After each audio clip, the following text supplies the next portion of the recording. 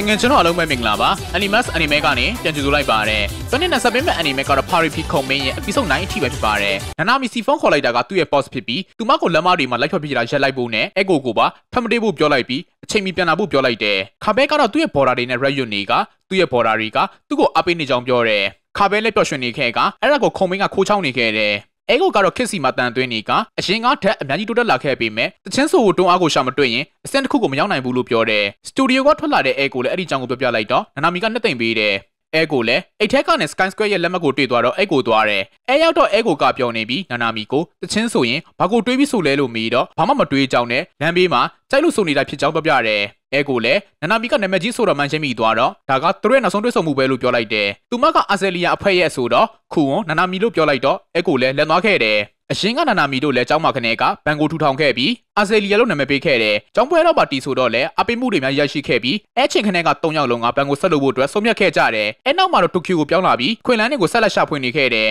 ။မြို့ထဲမှာဖျော်ဖြေတော့အပိမှုနေပေမဲ့သူတို့လှုပ်ချင်တဲ့ဂီတကိုဆက်လုပ်နေရလို့ပျော်ရွှင်နေခဲ့တာပေါ့။တရက်မှာတော့ခီတိုင်းရဲ့ boss နဲ့တွေ့ပြီးသူတို့လှုပ်ချင်တာတွေကိုပြောပြပေးမယ်သူတို့ကိုဒီတိုင်းဆိုရင်မအောင်မြင်နိုင်ဘူးလို့ပြောလိုက်ကအောင်မြင်ချင်ရင်သူ့တခြင်းတွေကိုစိုးဖို့ပြောတယ် ဒီအခွင့်အရေးကိုလွတ်လွတ်လိုက်ရင်ဘယ်တော့မှအောင်မြင်မှာမဟုတ်တော့ဘူးလို့ပြောလိုက်တယ်။နာနာမီလည်းတင်းနေပြီး boss ကတော့တခြားစဉ်းစားဖို့ပြောတယ်။သူတို့ဘာသာစူးစမ်းမဲ့ဆိုပြီးလုပ်ခဲ့ပေမဲ့ဈေးကွက်ကိုဘယ်လိုထိုးဖောက်အောင်မလဲဆိုတာကိုမသိတော့အဆင်ပြေတာတွေအများများလာခဲ့တယ်။နာနာမီလည်းနောက်ဆုံးတော့ခီတိုင်းစီကိုပြန်ရောက်သွားခဲ့တယ်။ boss လည်းအရှင်ကသူတို့လိုထင်ခဲ့ဘူးကြောင်းနဲ့ကိုကြိုက်တာကိုလုပ်ရင်းနဲ့ရက်တီနိုင်လိမ့်မယ်လို့ထင်ခဲ့ပြီးကြောင်းပြောပြခဲ့တယ်။ လူတယောက်ရဲ့ပေးဆက်မှုဟာအခြားသူတယောက်ရဲ့စိတ်ချနှပ်မှုနဲ့ဆက်ဆက်နေကြောင်းရှင်းပြကနာနာမီတို့ကိုလည်းစတားဖြစ်အောင်လုပ်ပေးမဲ့အကြောင်းပြောပြတယ်။အာဆယ်လီယာအဖွဲ့ကသူပြောတဲ့အတိုင်းကိုအကုန်လုံးရမှာဖြစ်ပြီးခုကစပြီးတော့အာဆယ်လီယာအစ်စ်ပြန်လည်ဝေဖွက်လာပြီလို့ပြောတယ်။အဲ့ဒီအတိုင်းလုပ်လိုက်တာအချိန်တိုအတွင်းမှာအများကြီးအောင်မြင်လာခဲ့ကနောက်ပွဲတွေကိုလည်းဟန်ပြပဲတီးပြီးတော့ performance ကိုအောင်ဆိုင်ဖို့ပြောတယ်။ခါရာဆာရာပြောတဲ့အတိုင်းလုပ်လိုက်တော့အရန်အောင်မြင်လာလို့ CD နဲ့ထိုးသမျှပါချောင်းကုန်သွားပြီး music တစ်ခုထဲနဲ့ပါရှယ်ရီလာနိုင်ခဲ့တယ်။ ဒါပေမဲ့ပုံစံပြောင်းလိုက်ရလို့လူပေါ်ပြောင်းလဲလာတယ်လို့ခန်းစားမိကြောင်းနဲ့အဲကိုနဲ့အတူတချင်းဆိုလိုက်တော့မှ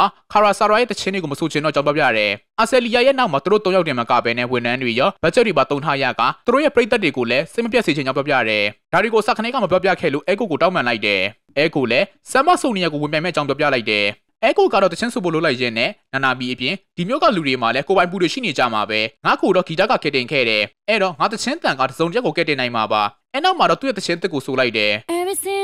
seems to be alright. You don't know how much I love you.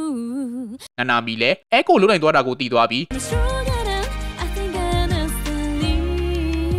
ပရိသတ်တွေလည်းရှယ်အားပေးကြတယ် အဲကိုကသူ့ကိုလူတွေအများကြီးကကူညီခဲ့လို့အဲ့ဒါကြောင့်ဘဝင်မြင့်နေမှာမဟုတ်ကြောင်းနဲ့လမ်းဘေးမှာတချင်းဆိုနေတဲ့နာနာမီကိုသဘောကျကြောင်းပြောတယ်နာနာမီလည်းငိုတော့တယ်သူ့ရဲ့ boss ဖုန်းဝင်လာတော့အဲကိုကိုနှုတ်ဆက်လိုက်ကနောက်တစ်ခါကြာရင်သူတို့ဟာပြန်ဘက်တွေဖြစ်နေမှာမလို့အကောင်းဆုံးလုပ်ရအောင်လို့ပြောပြီးထွက်သွားတော့တယ်အဲကိုလည်းနောက်တစ်ခါကြာရင်တချင်းတူဆိုရအောင်ဆိုပြီးတော့အော်ပြောလိုက်တယ်ခုံမဲလဲဟတ်ထီလို့ငိုနေပြီးအဲကိုကိုရှာနေတာတွေ့သွားပြီမလားလို့မေးတယ်အဲ့ဒါကလူတွေအတွက်မလားလို့ပြန်ဖြေတော့ဟုတ်တယ်လို့ပြန်ဖြေတယ်ကဲငါတို့လည်း အမြင့်ဆုံးကိုပြန်တန်းကြစို့အဆုံးတိကျရှုပေးခဲ့ကြလို့တငယ်ချင်းတို့အလုံးကိုအထူးပဲကျုပ်တင်ရှိပါတယ်